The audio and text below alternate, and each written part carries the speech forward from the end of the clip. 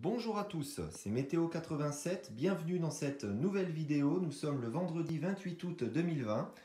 Euh, je viens vous faire un petit point par rapport à l'ouragan qui a frappé le sud des États-Unis ces dernières heures, plus particulièrement la Louisiane et le Texas. Un ouragan qui est passé, euh, qui était au plus fort en catégorie de niveau 4, qui en fait un ouragan, donc un ouragan majeur, encore une fois. Euh, des ouragans euh, majeurs qui euh, se répètent de plus en plus souvent par là-bas. Donc c'est une situation qui commence à devenir bah, préoccupante hein, chaque saison, d'avoir des ouragans de plus en plus violents et surtout majeurs hein, en plus grand nombre. donc voilà, donc des vents qui ont dépassé les 200 km/h avec des pointes à 240 km/h en rafale. Du coup, avec euh, donc euh, des images, euh, des dégâts particulièrement impressionnants, il n'y a pas eu que les vents, il y a eu d'importantes inondations, de très fortes pluies, des inondations jusque dans les terres. Forcément, hein, les, 15 ans jour pour jour par rapport à l'ouragan Katrina, forcément on y repense.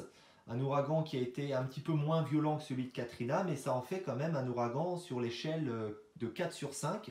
Donc c'est un ouragan majeur pour le coup. Et à l'heure où je vous parle, euh, bon, cet ouragan qui a été rétrogradé euh, en, tempête, du coup, hein, en, s'épuisant, donc en traversant les terres euh, des États-Unis. mais il faut savoir que c'est donc le premier ouragan majeur de la saison qui arrive, qui arrive tôt, qui arrive tôt dans la saison, puisqu'on est seulement fin août et on a déjà notre premier ouragan majeur, donc de catégorie 4. Et ce qu'il faut savoir, c'est qu'en général, un ouragan, quand il quand il poursuit sa route dans les terres, quand il touche les terres et qu'il rentre dans les terres, hein, du coup, il s'épuise assez rapidement puisqu'il n'a plus les eaux euh, chaudes pour l'alimenter. Et là, il faut savoir que cet ouragan s'est maintenu euh, plusieurs heures au stade d'ouragan euh, de catégorie 2, en rentrant donc en, durant assez longtemps hein, dans, les terres, en traversant la Louisiane et, même une partie du, Texas. Euh, voilà, dans les terres, du coup, il s'est maintenu au stade d'ouragan, donc c'est assez exceptionnel. Il a mis du temps avant de, s'épuiser, donc euh, maintenant il est au stade de, simple tempête. Hein. il, va, il va ressortir, il va traverser donc les États-Unis, il va ressortir par euh, normalement par l'est des États-Unis, être repris donc par le courant océanique et pourquoi pas nous donner une perturbation dans une bonne semaine par exemple. Voilà. Donc je voulais vous montrer quelques petites images pour, euh, pour terminer. Donc euh, ça c'est l'œil de l'ouragan du coup. Euh, on voit l'œil, hein, on, voit la, on, voit le, ben, on voit bien le, franchement la, forme et tout. ce que vous voyez les petits flashs autour c'est les éclairs, hein, puisque forcément il y a eu aussi des, orages, de très très fortes pluies, donc forcément une forte instabilité. Et là c'est ben, l'ouragan qui a été du coup qui a été pris du dessus euh, par donc, euh, les, chercheurs, hein, euh, certainement donc, pour ceux, qui mesurent donc, la force des, ouragans. donc là, c'est pris d'un avion carrément. Donc là, ils sont dans l'œil du coup de l'ouragan. Et c'est magnifique. Moi, ça, ça me passionne, genre de truc. J'ai toujours voulu faire ça. C'est impressionnant. Donc voilà. Et une saison donc des ouragans déjà qui commence tôt et qui euh, qui promet d'être euh, très actif, plus actif que la moyenne pour le coup. Et euh, je voulais vous, donner mon avis du coup par rapport à ça. Alors moi je pense honnêtement, après ce n'est que mon avis, hein, c'est mon humble avis, voilà, mais moi je pense honnêtement que d'ici quelques années on pourrait avoir ben, des ouragans.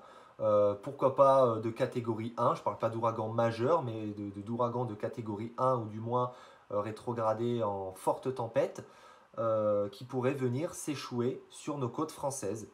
Euh, on peut imaginer une tempête qui se forme au large du Cap Vert, qui remonterait en gagnant en puissance au niveau des Açores et qui, du coup, en, se transformant en ouragan, hein, dû aux eaux, chaudes hein, par là-bas, pourrait venir euh, ben, frapper euh, les côtes françaises. Tout simplement, c'est une trajectoire qui avait, qui avait, déjà eu lieu il y a deux ans, à peu près à la même, euh, à la même période. du coup, c'était courant septembre-octobre, un ouragan qui avait frappé le Portugal, il me semble, en catégorie 1.